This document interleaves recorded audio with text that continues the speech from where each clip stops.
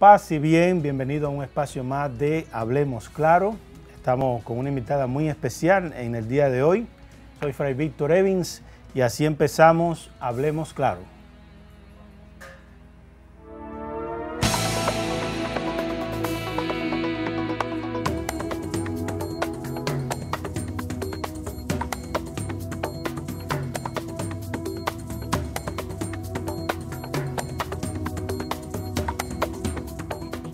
Como les decía, tenemos una invitada muy especial. Vamos a estar hablando de un tema también ah, muy importante para nosotros, para nuestra familia.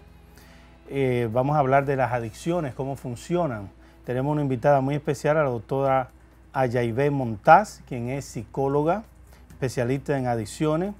Eh, Ayaibe Montaz tiene una larga trayectoria trabajando con esta población que es tan vulnerable de los adictos ha trabajado también en Hogares CREA, Fundación Volver, Centro Argos. Tiene una vasta experiencia en, todo lo que es adicciones. Así que vamos a estar compartiendo con Ayaibet. Bienvenida. Muchas gracias por invitarme. Es un honor estar aquí compartiendo contigo. Bien, adicciones. Cuando hablamos de adicciones, em, en, la, en el espectro de hoy, sí. ya no se ve igual que antes por ejemplo, hace 30 años, cuando yo tenía 18 años, exactamente, ah, las adicciones solamente ah, se, podían ver como una persona que fumaba marihuana o que olía cocaína, o, eh, marihuana y cocaína. Algunas eh, pastillas también se usaba y lógicamente las drogas convencionales que son el alcohol, eh, el tabaco. Sin embargo, tampoco se hablaba mucho de mencionar, el, por ejemplo, el tabaquismo, que es una, es una droga, una adicción también. Sin embargo, hoy en día estamos hablando de algo más amplio. Claro que sí. Y para eso, pues quisiera que, nos diera su, punto de vista, usted como eh, que tiene tanta experiencia. Antes de todo, vamos a definir lo que es una adicción.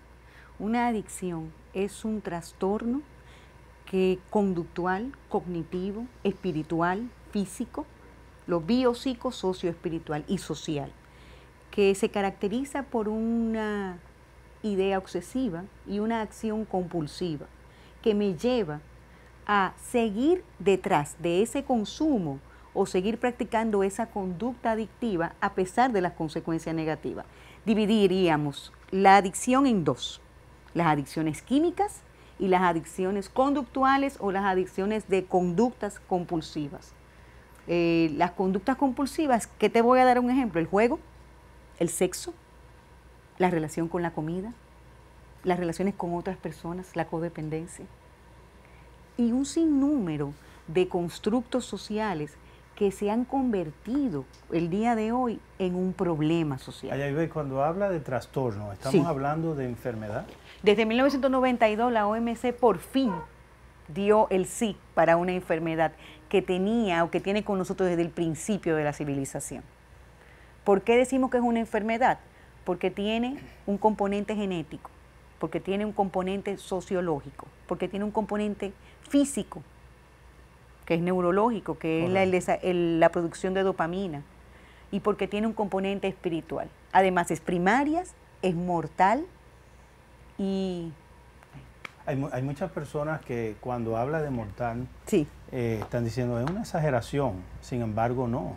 Muchas personas que consecuencia de las adicciones mueren, inclusive eh, adicciones de comportamiento como hablaba.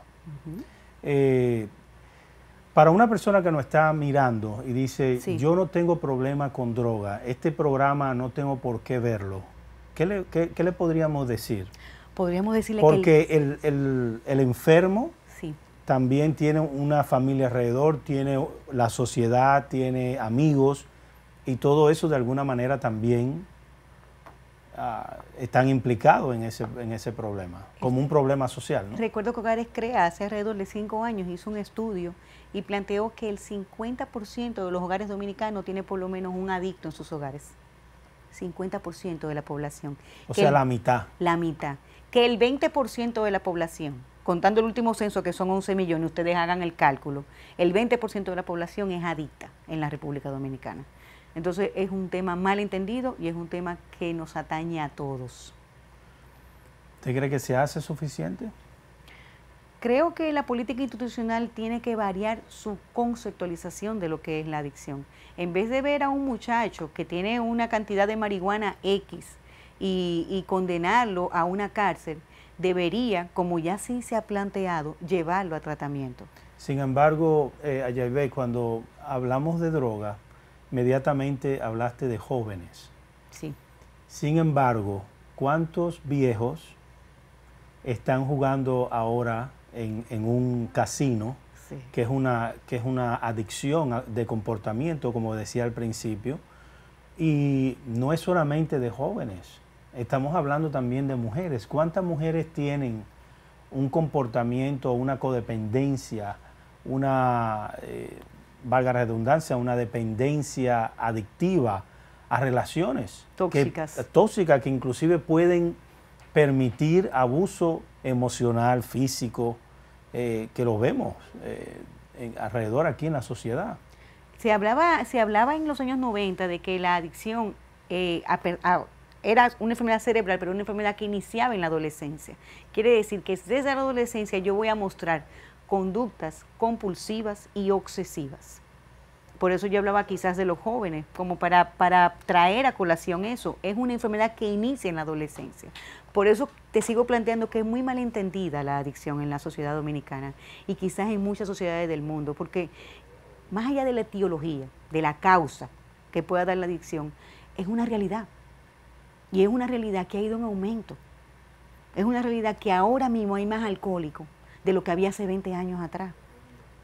¿Y usted, está de acuerdo con que legalicen la marihuana? No, yo no estoy de acuerdo con que legalicen la marihuana. Eso es un asunto económico y político ya. más que de sanidad mental. Primera vez en los Estados Unidos que una decisión tan importante que tiene que ver con la medicina la han dado ahora para que el pueblo sea que vote cuando eh, la población no es médico, o gran, la gran mayoría, habrán dos o tres médicos, pero no todos son médicos, para determinar si la marihuana es, es, es saludable además de un montón de millones y millones de dólares que se gastaron en estudios que prueban que es, que es mala para la salud eh, neurológica, la salud física, la salud emocional, eh, que trae conflicto en la familia.